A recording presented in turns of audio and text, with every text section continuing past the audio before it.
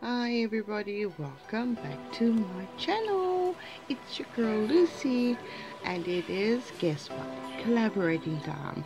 This is my fifth and I'm collaborating with Miss Nail Art Amanda. Um, we're doing anything and everything Christmas. And this is our second theme, um, how to create um, our little beloved snowman in five different ways. And I hope that you guys will stay till the end. And if you are new um, and uh, do stay till the end. And you like the content guess what? I'll see you again later so let's get right into this. Like with all the others before this one I did prep them ahead of time. And it was just to save on drying time. And I'm gonna go in white. And like with all the others I'm going to speed up the creative bit just so that you can enjoy it with a little bit of music